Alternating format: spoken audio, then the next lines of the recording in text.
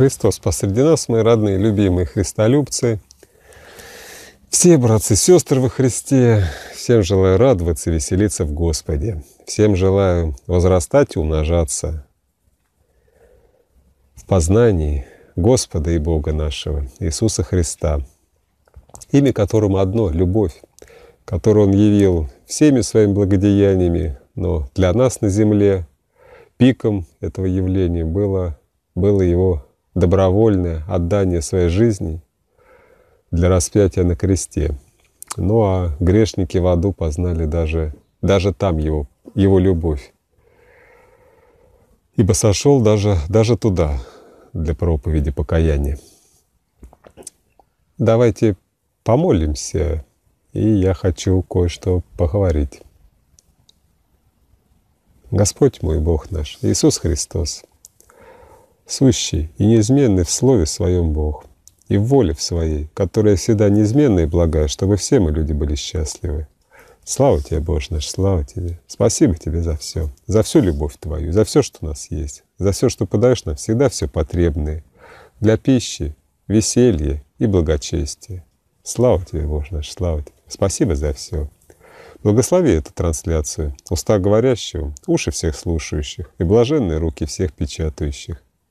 И да прославишься Ты, Господь мой и Бог наш, пришедший во плоти, и благотворящий, благотворящий всем, добрым и злым, всем на свете, даже до креста, чем и явил нам свою любовь, имя свою, сущность свою, которая всегда неизменная. Слава Тебе, Боже наш, слава Тебе! И да откроется помышление многих сердец, и узрит всякая плоть, славу и величие, а главное — божество Твое воскресении Твоем. И будут на Тебе уповать все народы, и все мы христиане ежедневно. Слава Тебе, Боже наш, слава Тебе. Христос — любовь посреди нас, братья и сестры. Я вам быстренько напомню по, по примеру апостолов заповедь Господа нашего Иисуса Христа. Она простая. Все Евангелие, все учение, и все то семечко, которое мы принимаем в крещении, о котором мы сейчас и поговорим, от которого мы зачинаемся — есть очень простая формула. Иисус Христос, тире, это Бог по плоти, и по сущности, и по духу есть любовь. Все. Бог есть любовь — это формула. Ну, она слишком короткая для христиан, поэтому Иисус Христос, Бог есть, это Бог, который есть любовь.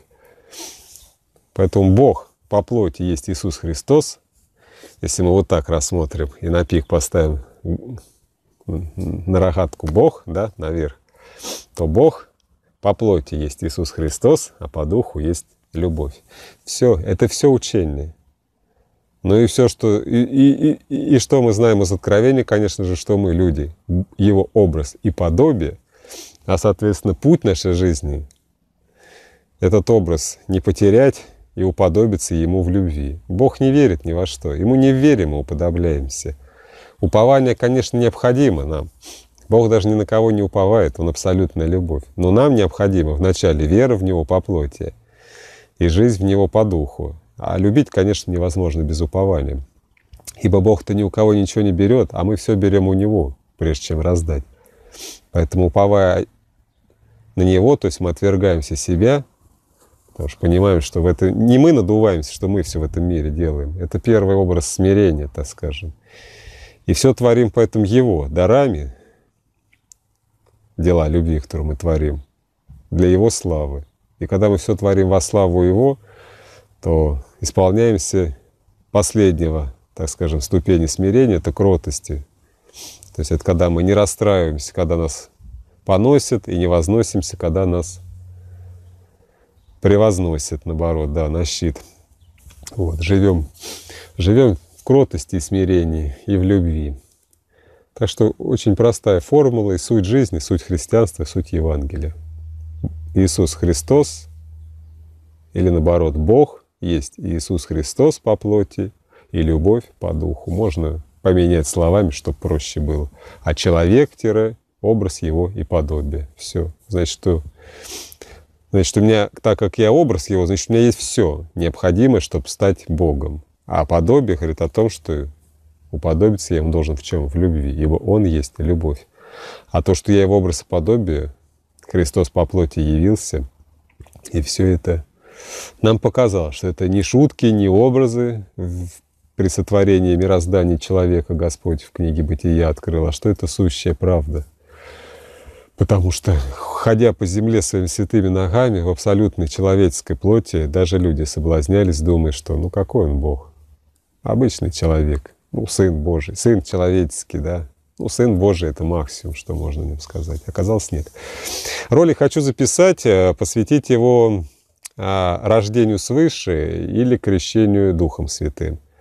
Я уже записывал ролик вот по духовному росту, даже по юношескому максимализму, да, а по-хорошему получается вот этот ролик посерединочке еще получится. Просто вокруг меня э, Господь стал так устроять, что вокруг меня люди стали рождаться свыше, чему я очень рад и очень счастлив.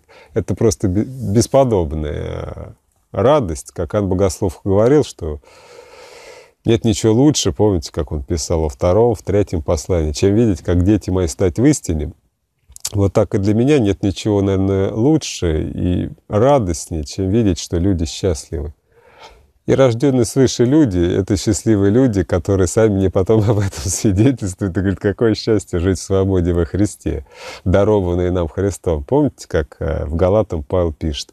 «Итак, стойте в свободе». Мы не придаем значения словам. Мы очень... Я уже, помните, писал ролик о неблагодарности Богу за то время, в котором мы живем, что вот э, у нас есть не только даже Дух Святой, вернутый нам, так скажем, в крещении, да, древо жизни, это семечко, но еще и Писание, Новый Завет, Евангелие, апостольские жизни, послания в виде книги деяний и их писем, да.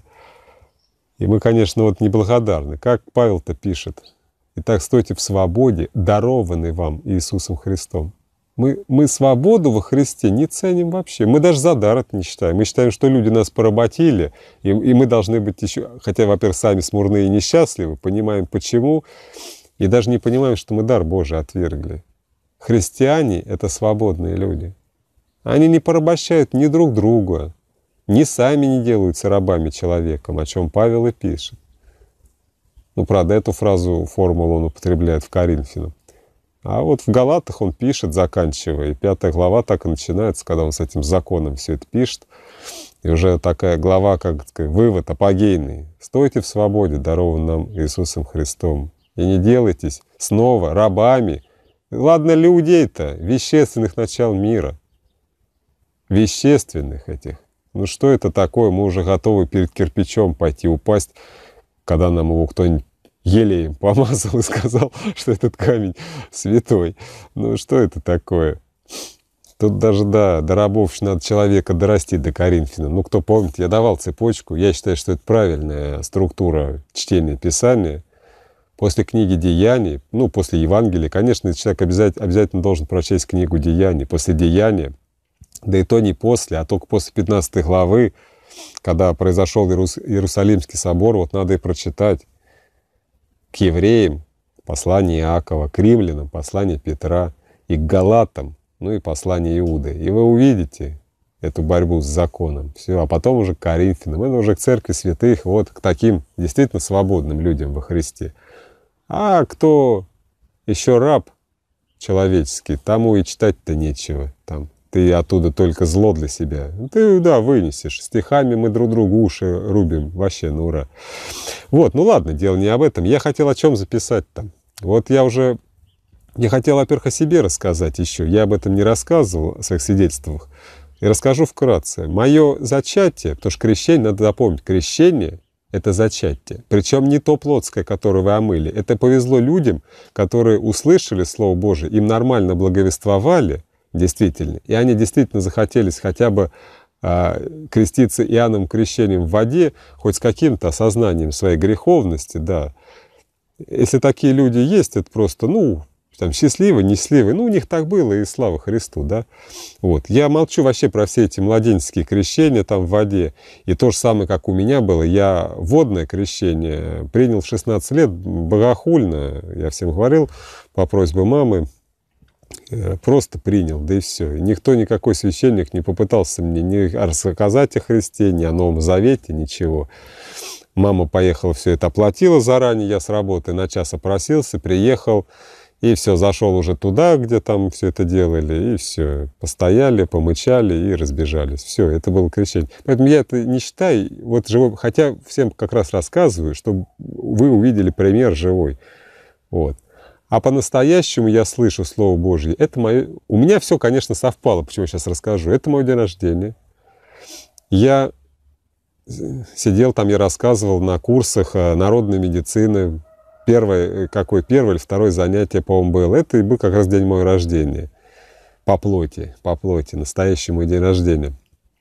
И я даже не услышал Слова Божье. И этот так называемый, э, он сейчас, он погиб, он умер, этот преподаватель, ему было 42 года от инфаркта. А, он, у него был сзади маленький иконостасик, насколько он верующий, во что было вообще непонятно, но он зачем-то нам стал рассказывать о храме о храме, о его структуре, где там что расположено, алтарь, храмовая часть, там приход, где там панихиду стоят, служат, да. А меня касался Бог. Что в тот день произошло, я не знаю. Что он мне говорил, это не было. Господь же мне не благовествовал. Был свет какой-то опять яркий. Ты рассказывал. Ну, тогда-то это солнце не было какого-то света, э, так скажем, неземного, да, как у, кто знает, я там рассказывал, здесь меня потом было одно переживание уже через несколько лет еще в храме, вот здесь, в селе Пузево, да. Нет, тогда просто, это было, наверное, обычное солнце, была зима, день рождения у меня 3 января, вот, ну, был очень солнечный день, возможно, да. Мы были в полуподвальном помещении, но окошки наверху такие, знаете, бывают, когда... То есть там был дневной свет, и просто было, может быть, ярко. И, конечно, было что-то, была теплота, это я точно помню, тоже мне стало так хорошо на душе. И вот он рассказывает, а писать я даже, я не мог людям вокруг, вот представьте, я сижу, а со мной что-то происходит. Ну, меня касался Бог, я, это, я теперь это, ну не теперь уже давно понял, просто об этом я тоже рассказываю. Вот я сейчас дальше буду, это я некоторые вещи не рассказывал, это я рассказывал. Вот, и меня тогда касался Бог, да. И я вышел после этого занятия, я говорю, там я сидел Бога переживал. Реально где-то это длилось достаточно долго. Он вроде бы не говорил на мне о Христе ничего. Я сколько всю жизнь противился там религиям всем этим, с кем общался, да. И вот Бог меня касается, да. Я выхожу, и я покупаю Библию в этот день впервые в жизни. Такую толстую, за 500 рублей, все как положено. И я еду, я жил гражданским браком, или как это называется, сожительствовал уже несколько лет. В пригороде, в частном доме мы жили.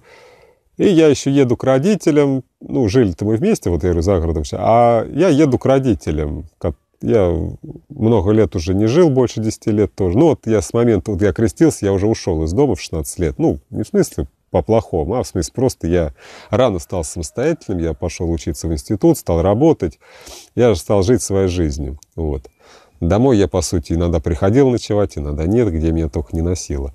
Вот, я уже жил. И вот я как раз в эти 16 лет-то и вот это и было водное крещение, так называемое. И вот вот столько лет прошло как раз, да, и вот это событие. Мне 27, да, и я, или 28, я, если честно, даже уже не считаю. Мне это все не особо важно. Я хочу поделиться опытом, как раз показать, что вся эта плоть не особо важна все эти вещи. Ну, да, кажется мне, говорит, ну вот, надо же, чтобы что-то было плотское, материальное. Ну, я вам сейчас поделюсь своим опытом, может, кого-то это утвердит. Я еду заодно еще к родителям, думаю, заеду. Говорю, тем более день рождения там все.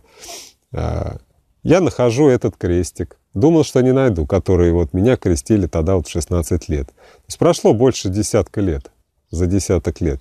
Я нашел даже этот крестик, хотя думал, там и ремонт уже был в доме. Нашелся этот крестик в каком-то ящике, никто его, видимо, не выкинул, такой маленький, ну, знаете, сам дешевый, обычно, видимо, при крещении тогда мы купили. Вот, я его никогда не носил. Ну и вот с этого дня моя жизнь изменилась. И вот началось, это было мое зачатие, настоящее зачатие. Именно это я переживал, вы знаете, ну действительно, как э, зачатие ребенка у мужчины и женщины, ну, я не беру какие-то случаи ужасные, а по-хорошему зачатие должно происходить, сами понимаете, все взрослые люди, это событие радостное. и сам процесс, да, доставляющий. Вот это что-то со мной было, наверное, тогда в этом, в этой учебном классе, в котором мы сидели тогда, так назовем. Я ходил, говорю, на эти курсы, пошел на курсы народной медицины, но они, правда, вот за, сразу закончились, он умер, и он умер. Это было одно занятие, и уже следующего занятия не было, этот преподаватель умер. То есть было всего одно, это было, по второе занятие, или даже первое, и он погиб. Вот. И в тот день меня вот коснулся Бог. Это было мое зачатие. Причем не от слова даже Божьего, понимаете, вот э, письменного, а от Логоса. От Логоса, от настоящего семени Божьего. Меня коснулся Бог. Причем я не могу сказать, что я слышал слово «пойди купи Библию», которую я, в принципе, да, презирал, так скажем, как все эти культы, религии. Думал, да, я никогда не слышал нормальной проповеди о Христе там или еще что-то. Одно мракобесие какое-то ходило, так с кем-то столкнешься там. Вот. И меня коснулся, конечно, Бог. Почему? Я говорю, все, он меня прям вел, да? Он меня взял в тот день за руку, и я вот тогда зачался. И год у меня была настоящая беременность, брожение, или как семечко в земле разлагается. Это тот образ Христа, когда Дух Святой ведет человека в пустыню для, для искушения. И каждый проходит это. И вот год я начал... Все, во-первых, я, конечно же, прочел там Евангелие, я об этом уже рассказывал. Библию целиком стал поглощать, изучать. Хотя она тяжело давалась очень и, и не далась, в принципе. Я стал сразу Коран прочитал, я стал э, всякие сутры читать, все подряд. Я стал ванги, подванги, хотя я раньше кое-чем увлекался, так немножко совсем.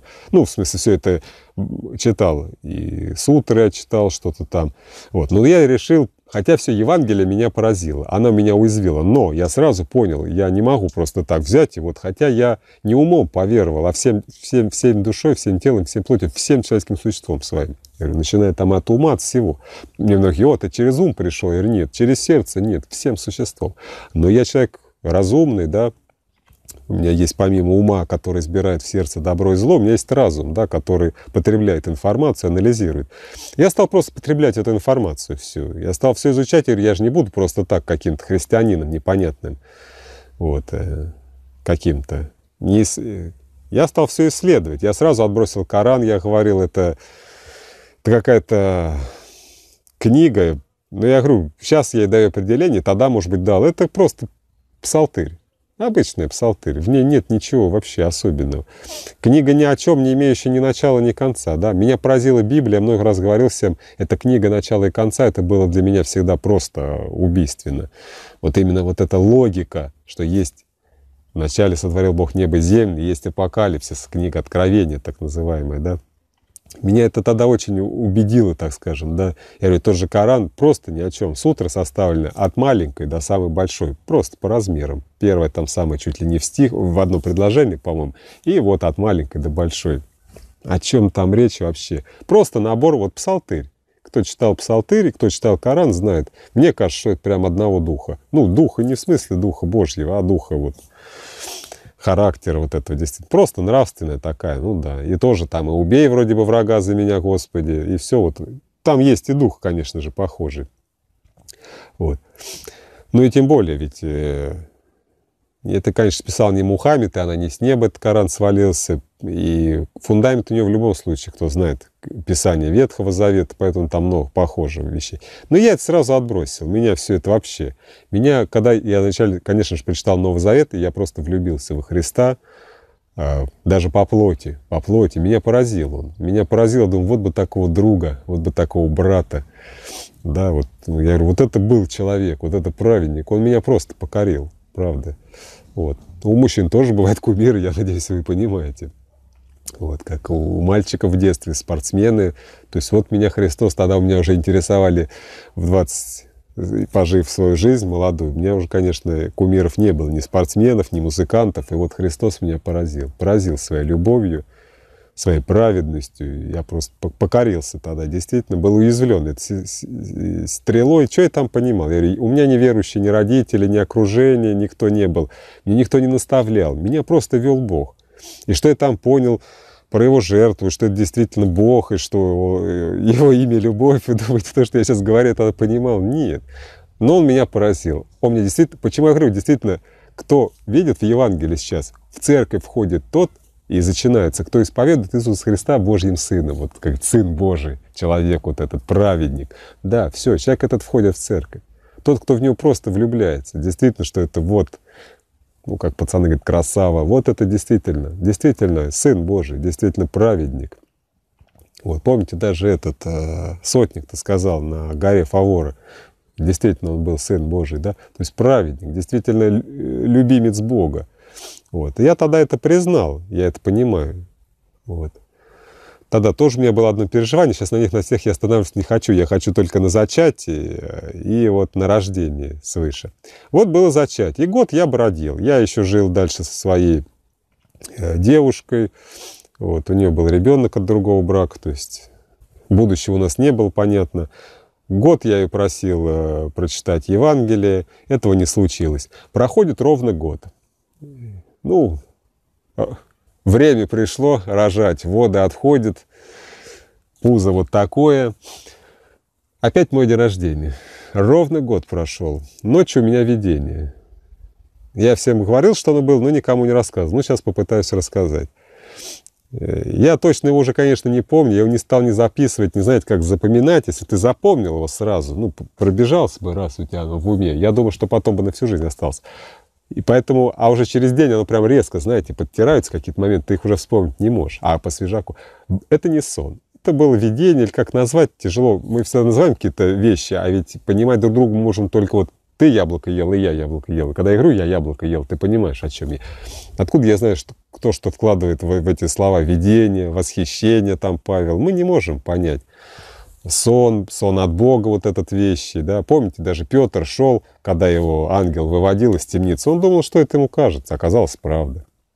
Вот, потому что, в принципе, не раз у него, помните, у него было иступление у Петра, и э, когда Корнилия Сотника ждал он слух, когда он на втором этаже молился там, когда ему это полотно было спущено, когда ему было сказано, что теперь язычники будут тоже все, войдут в ограду Божью.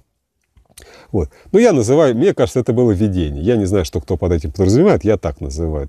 Ну, чтобы как-то от, сделать отличие от обычного сна, пусть даже какого-то... Во-первых, конечно, было чувство полной реальности. Я бы сказал, почему я говорю, это было видение, не знаю, в теле или не в теле. Восхищения никуда не было, я рай не видел, а видение было. Видение было настолько реальным, что это жизнь просто была твоя. Как будто, ну, в параллельном измерении, наверное, больше тогда подошло. Вот. Проснулся я, конечно, в ужасе. Я расскажу, что было, и никогда об этом не рассказывал. Почему это символичность рождения? Ну, во-первых, я все говорил, вот этот образ Иисуса Христа в пустыне, это никакой не пост. Это вот образ рождения свыше, потому что даже там слова у Луки, кто читает, знает прекрасно, он вышел оттуда в силе Духа. Рождается ребенок в силе духа и является на свет. Он вышел и явился миру. Растение выходит из земли, дом выше фун... земли, фундамент поднимается, мы его начинаем видеть. Да? То есть образ скрытой земли — это образ этого брожения. Вот. А образ все, что над землей, вот семечки, дом или человек в мир, ребеночек появился, вот он видимый, видимый. Вот. И вы помните, что Господь сказал перед этим выходом. «Господу Богу твоему поклоняйся и Ему одному служи». И вы помните духовно этот момент, чтобы понять, мы читаем параллельное место из Евангелия от Иоанна, когда он самарянке сказал, «Будьте поклоняться Отцу в духе смирения и кротости и истине. А истина есть Бог, Бог есть любовь, то есть делами любви». То есть отвергнувшись себя, то же самое, что он говорит в других местах, неся крест, то есть творя дела любви, то есть отвергнув себя в смирение, творя дела любви, следуя за мной, уповая на Бога. А это то же самое, что всю славу Ему воздавать. Все, это одни и те же места. Поэтому это лишь вот этот образ и символ пребывания Господа в пустыне. Вот.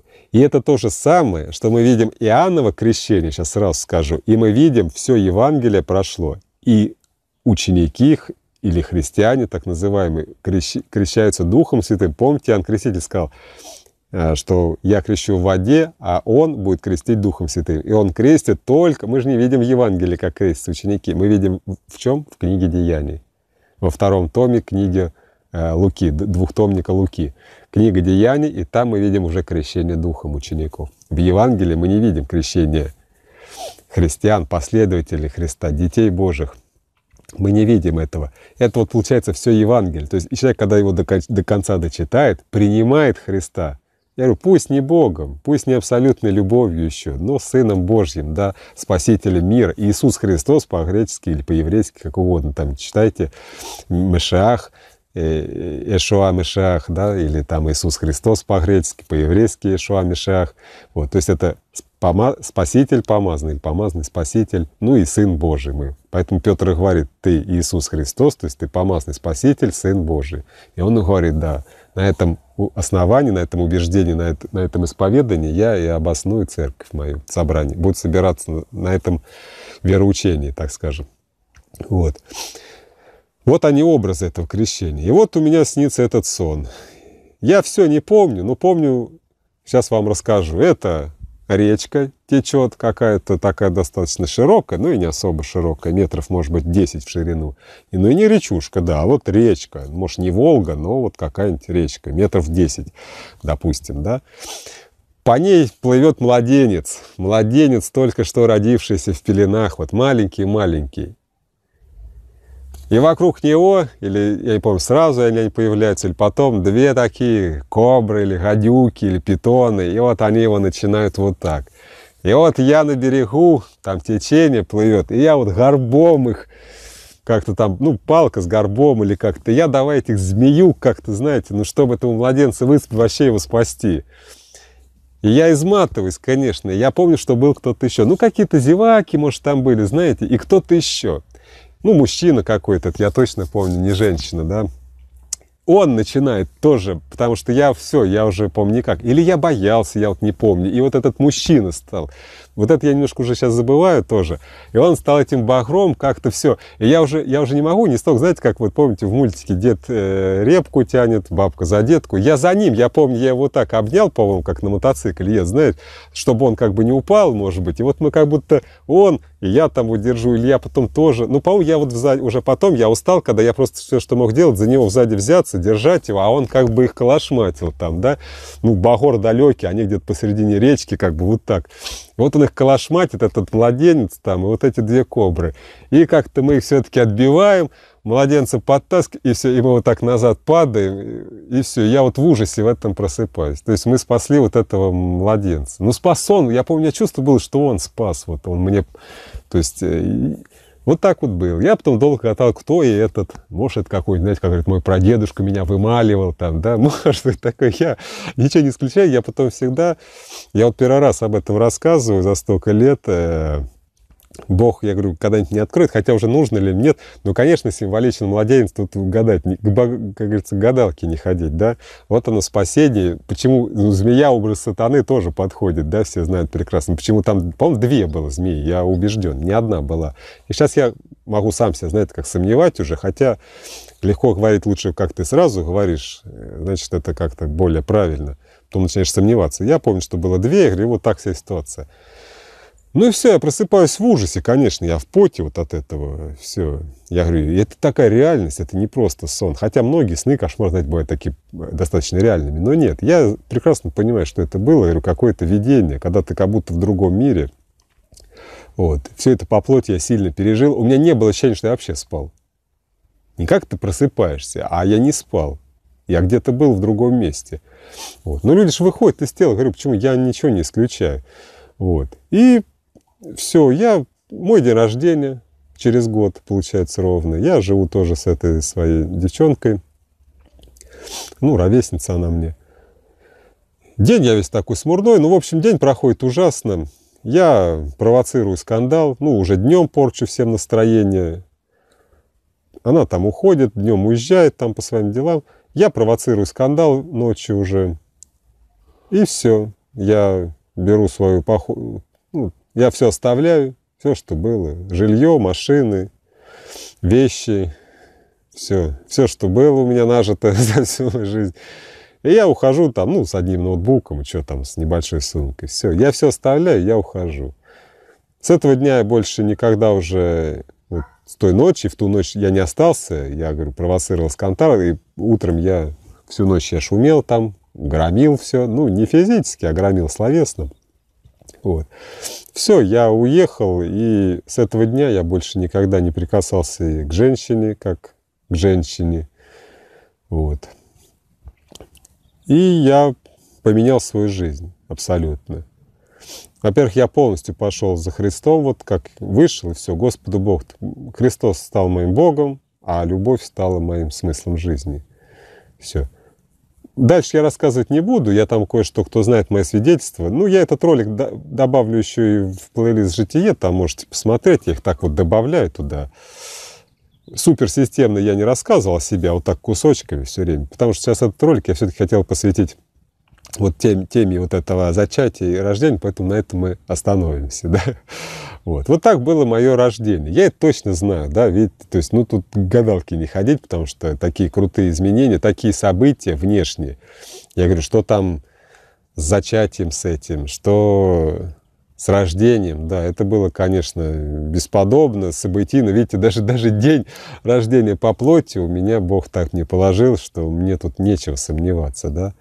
Вот. И что я хочу теперь сказать? Я просто сейчас наблюдаю, вот вокруг меня там люди рождаются э, свыше, да, но при этом все равно, знаете, немножко, тут я даже никого не обидеть, ничего не хочу, что вот по, по плоти мудрствуют или еще отлепиться не могут. Да нет, да я согласен, что надо что-то, какие-то внешние как-то события, да, а, и вот я хотел, просто вы знаете, я некоторых знаю уже по третьему разу креститься в воде. То есть когда-то там покрестили, а может и не по третьему, по четвертому, потому что, может, как-то в младенчестве. Потом он вот так где-то там в церкви в какой-нибудь перекрестился, потому что не помнит, крестила ли бабушка в младенчестве или нет.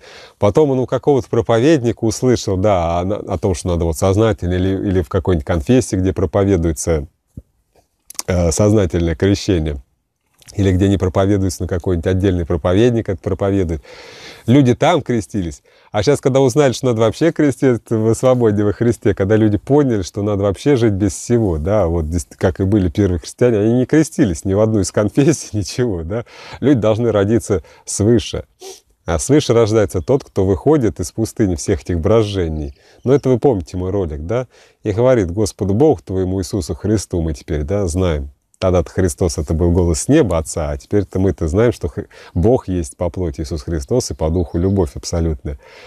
Поэтому мы, мы уже говорим, кто родится, рождается свыше, он говорит, вот те по плоти, когда мы крестимся, или пусть это образ, но мы слышим где-то слово, потом живем абы как. Бог у нас то Христос, то все-таки Будда, и то мы в этой конфессии то то, то мы любим чуть-чуть, то побольше, то до конца, не до конца. И вот тот человек, у которого Бог по плоти полностью стал Иисус Христос, абсолютный, всемогущий, неизменяемый, всегда и навеки, который во плоти пришел, во плоти страдал, во плоти умер, во плоти воскрес и во плоти вознесся, тем явив мою что? Свое божество являя всеми этими делами, всеми благими делами, пока был на земле начало.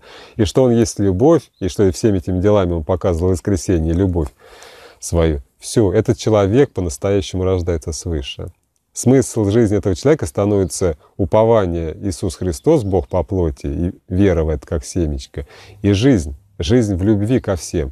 И в любви не в смысле, что всех обличаю, уповая, злословия, осуждая. Нет, это не дела любви, а это покрывая, это благословляя, это благотворя, и это благодетельствуя благожелательство, благомолитва. Да? То есть это совсем не то, что мы сами себе придумываем. Это Евангелие. Это дела Евангелия. А дела Евангелия, у нас есть пример, это Иисус Христос. У нас не Иегова пример. И не прежде бывший даже в книжечке, которую назвали Библией, если там кто-то что-то творил зло, это не значит, что если там написано, мы поступаем так же, и для нас это отмаз или пример поступать так же. Нет. Для нас пример только Иисус Христос во плоти, во плоти. И то в Евангелии есть, есть вещи, которые Он, ибо Он Отец одно, вот Он в Евангелии совершал вещи, которые Он делал на праве Отца. Поэтому понять, каким образом нам подражать Иисусу Христу по плоти, мы можем только простой его формулу, которую он сам нам оставил, сотворите и научите. Поэтому то, что он сотворил и сказал делать, мы тоже творим и потом этому учим. Все. При этом мы не подражаем ему по плоти. Мы не знаем, ни какая у него длина волос была, ни какого цвета глаза. Поэтому мы себе линзы не вставляем, чтобы быть похожим на Христа. Нет. Мы ему подражаем в плоти, но по духу, творя те же самые дела любви. Даже преломляем хлеб из пяти пять тысяч, если Бог благословит.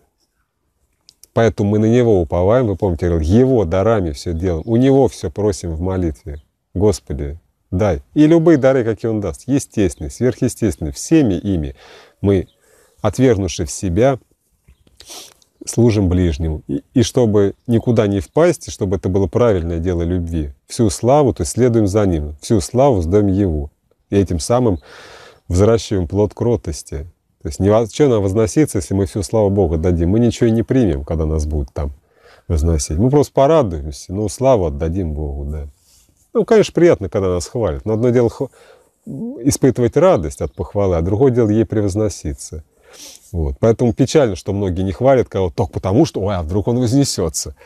Ну да, давайте друг другу только помой на голову наливать. Почитайте книгу «Деяний», «Посланий», как там хвалят все друг друга христиане. Хвалят еще как. Вот.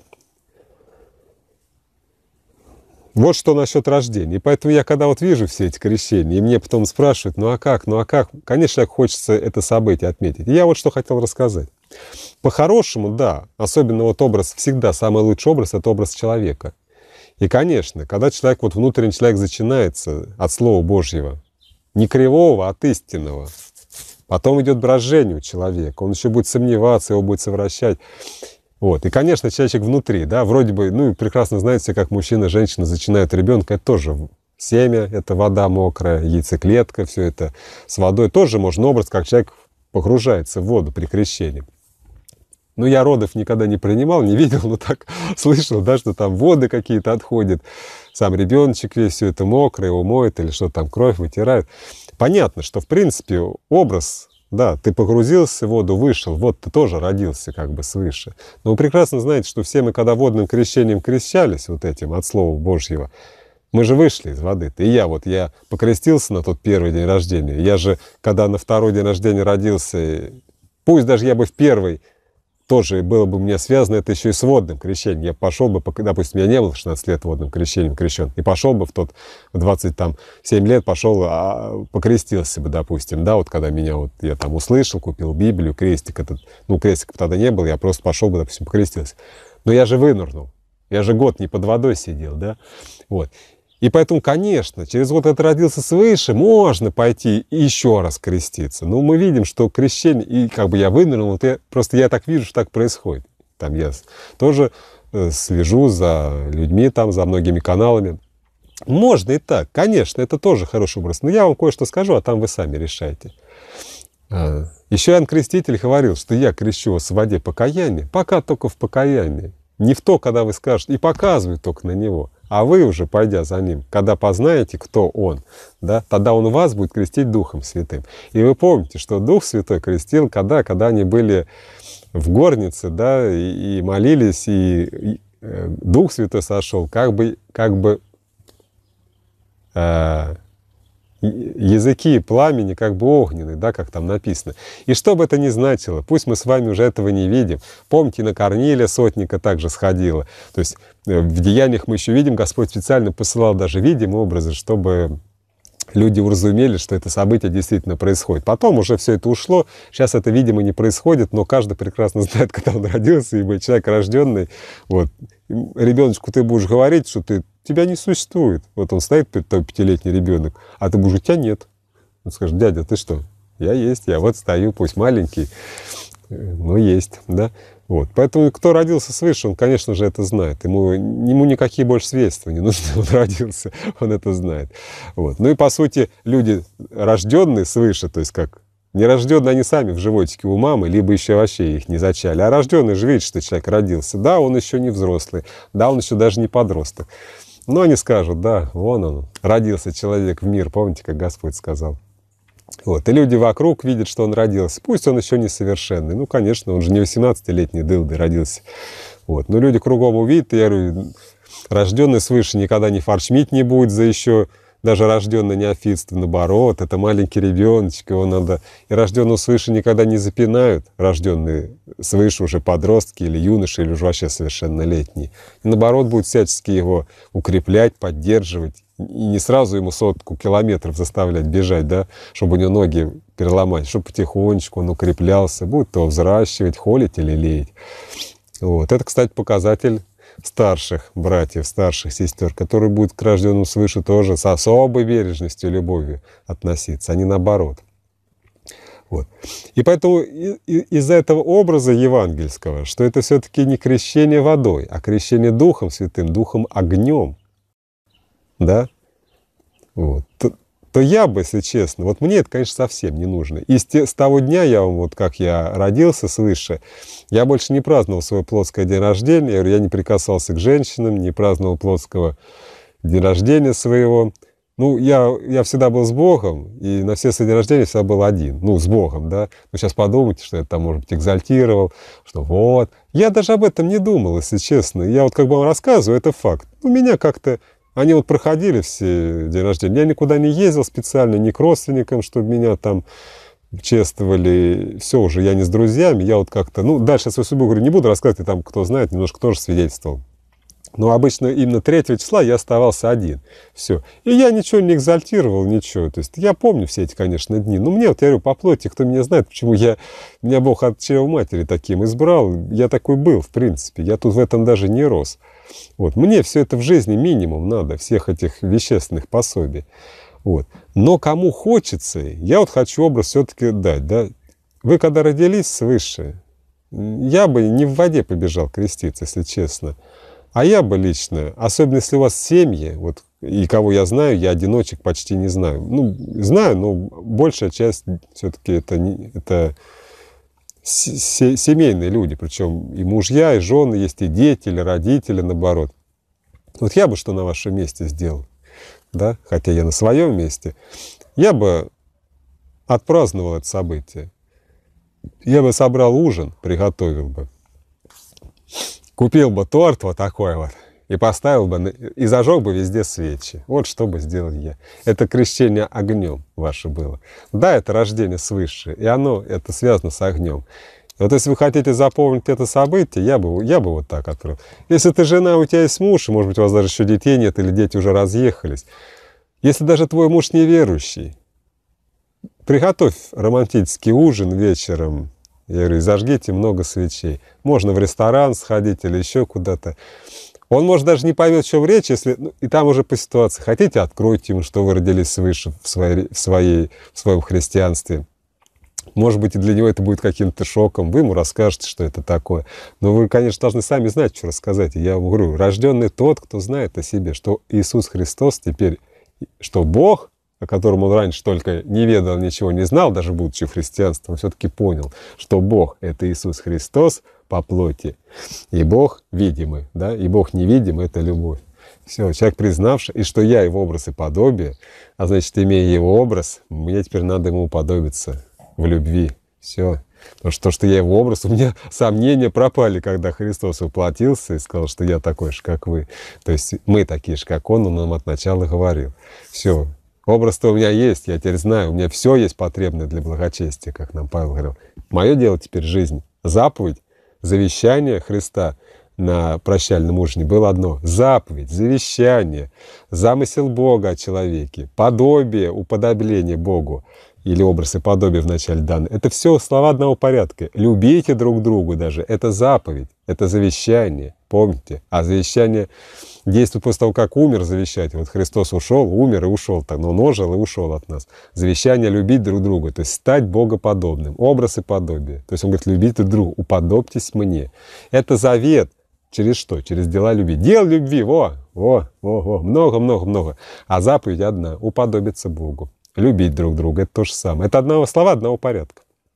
Просто это уподобиться Богу. Если не знать, кто Бог, тогда будешь думать.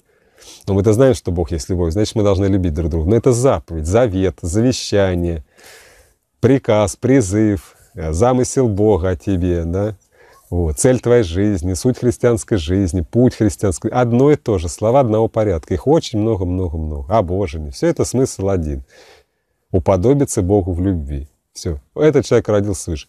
Хотите, расскажите за этот вечер мужу об этом. Нет, просто запомните этот день. Вот и все. Отпразднуйте его, свое рождение. У вас дети, с детьми отпразднуйте. Скажет, дети, мама ваша родилась. Я говорю, можно было в этот торт свечку воткнуть, но получается это уже год. А какой год? Пусть будет торт, а свечки еще не будет ни одной. Но вокруг будет свечки, допустим. Ну, на столе, то есть ужин при свечах. Ну, часто нет люстр каких-нибудь древних со свечками, но можно где-то по сторонам. Я не знаю, у кого какие дома, вы там сами сообразите. Вот. Ну, я говорю, может быть, ты молодой тогда, можно даже с друзьями или еще с кем-то отпраздновать. Вот я бы рождение свыше, это крещение огнем, крещение Духом Святым. Оно уже с водой не связано. Оно связано с огнем. И вот покреститесь. И не важно, что, допустим, это произошло неделю назад осознание, вот вы уже неделю маетесь, как его отпраздновать. Ничего страшного, мы же когда и в воде, помните, услышали Слово Божье, мы же не тут же бежим и в речку щучкой ныряем, да? Это тоже происходит, и потом кто там идет в какие конфессии, там сообщает об этом, какое-то время проходит, но день вы, вы просто потом, сделав это, как вы хотите день запомните, хотите, это же празднование, но состоялся он тогда. Ну и что, в этом году вы допустим, ну вот я, я вот крестился духом 3 января, да, в день моего рождения, а отметить мог, не дошло до меня, дошло через 10 дней, что это или Бог открыл, или в Писании я понял, или кто-то мне уже духовный подросток или муж совершенно сказал, да это твое рождение свыше. И 3 февраля я через месяц его отметил. Но в следующий год я уже буду 3 января и поставлю вот такую свечку, куплю толстую и поставлю э, в этот, в торт и буду каждый год тебе свое настоящее духовное рождение праздновать. Не зачатие. Заметьте, зачатие образ такой тоже немножко мутный. Потому что мужчины и женщины, ну, могут вычислить день, да, но обычно тоже никто же не знает. А если это, там, я, как я с некоторыми общался, говорил, да, ну, кто? Ну, если каждый день. Там тяжело уж прям до дня посчитать. Вот. Но уж день рождения знает точно каждый. И поэтому люди не празднуют день зачатия своих детей может вообще не родиться, может выкидыш быть. И вы помните притчу Господню? Вот эта семечко, которое украл сатана, это же, это же есть. Семечко, кто знает, кто вот я всегда говорил, огородник, оно может не выйти. Мы знаем прекрасно, дети могут не родиться. Может быть выкидыши на недели, на две. Я говорю, я хоть не семейный, но так не с неба свалился. И фильмы смотрю, и с людьми общался. И у меня у друзей такой был. Теряют детей на разных сроках беременности. Но уж когда родился, тут сомнений нету, да. И вот он день, вот свидетельство о рождении. Вот.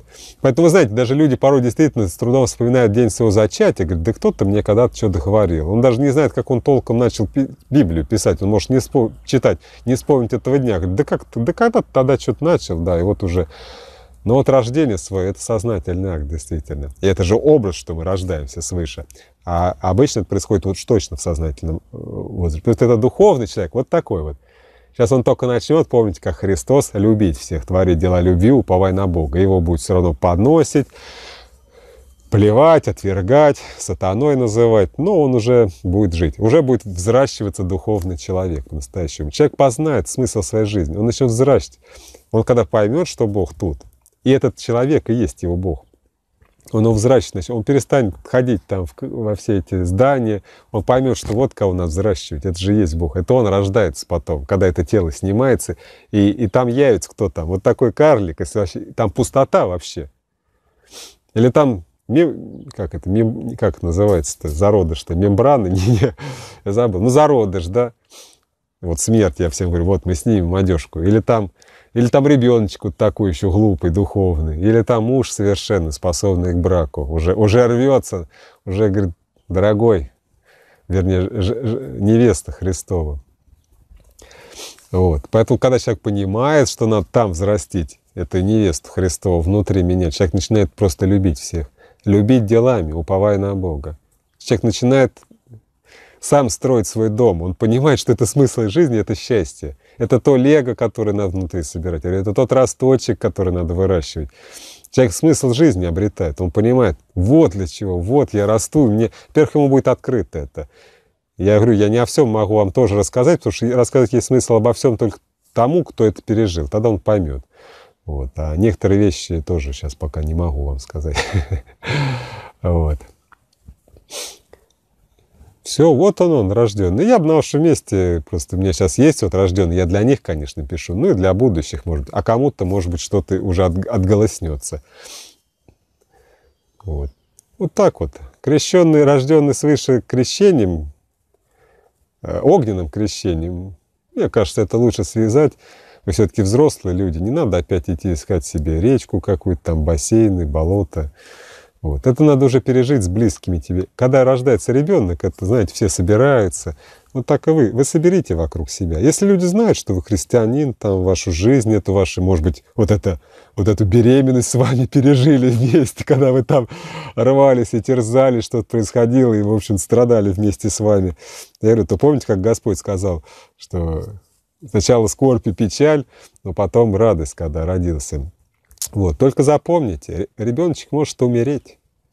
Если его погубить, если его не питать любовью, вы помните, уже ролик вы должны были посмотреть, я должен был уже выложить о теле Христовом. Если у ребеночка кровь, то есть дела любви не будут бегать по его плоти, он умрет.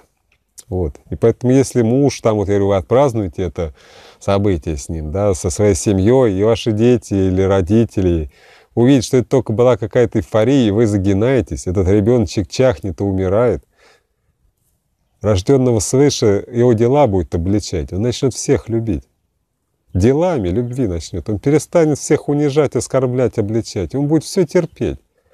Он никогда уже злом на зло не ответит. Никогда. Более того, он, скорее всего, ответит, если это рожденный свыше, по чуть-чуть, по чуть-чуть, причем тем, чем больше этот внутренний человечек будет развиваться и укрепляться, он будет отвечать добром на зло. Добрым словом, добрым делом на, доброе де... на злое дело, добрым словом на злое слово. Вы увидите это. Добрым делом даже на злое слово, что еще сильнее, да? Вроде бы там всего лишь слово, а он... Так мы и будем. Это вот рожденные свыше люди. Упование у них будет все больше и больше только на Христа, только на Христа, на Его единого.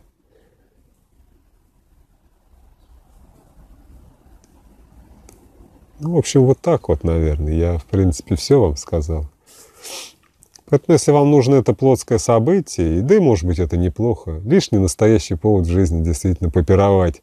Потом даже каждый год, может быть, потом праздновать свое духовное рождение. Потом же люди не только празднуют день рождения, как мы видим, традиция в мире, и годик, и два, и три празднуют. Да, пожалуйста. Я говорю, в этот раз так отпразднуйте, чтобы отлегло. Я просто, мне просто некоторые пишут и вот мучаются этим. Ну вот хочется что-то пережить по плоти. Ну вот переживите, отпразднуйте это со свечами, с образом огня, огня крещения духовного. И все. А, а день, ну если у вас был тот день, когда вы познали, осознали себя рожденный, ну, а в следующий год празднуйте в тот день. А это то, что сейчас попозже случится, и вы разделите свою радость с ближними, это будет здорово. Может быть, на ближних что-то еще тоже это повлияет. Представляете, какое для них будет свидетельство. Ну и, и это, я говорю, смотрите потом за собой. Если вы начнете умирать, может умереть и годоваленький. Я знаю, людей умирали и у меня у знакомых, и дети и в раннем возрасте. Так что смотрите. Все это спасение по вере, это все не христианство. Христианство — это плоть, в которой движется кровь. Это есть человек. Поэтому христианин — это тот, в котором вера движется любовью, делами любви. И дела любви надо себе зарубить на носу. Это не обличение, не, не злословие, не осуждение, не тыканье вечное. Это любовь, это теплота.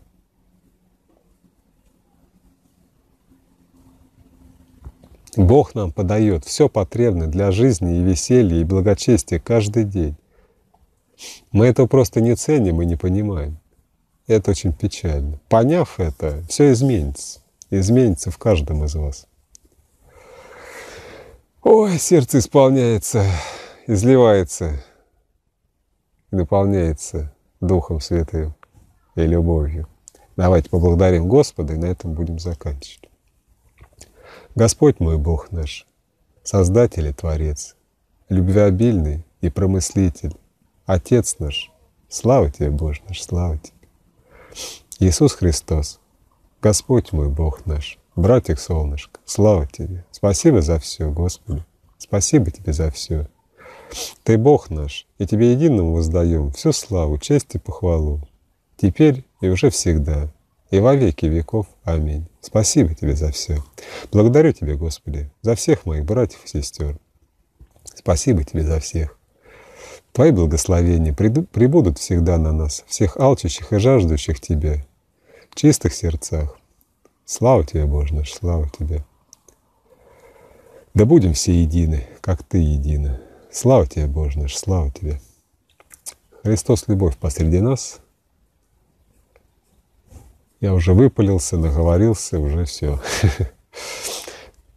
Кто, кому понравился ролик, ставим палец вверх. Кому не понравился, все равно ставим палец вверх. Делитесь роликом с кем считаете нужным. Все мои адреса каналчиков на, на YouTube наверху. Контакты для связи внизу. Полезные ссылочки всегда справа. Всех нежно целую, крепко обнимаю. Пока-пока, до встречи в следующем ролике.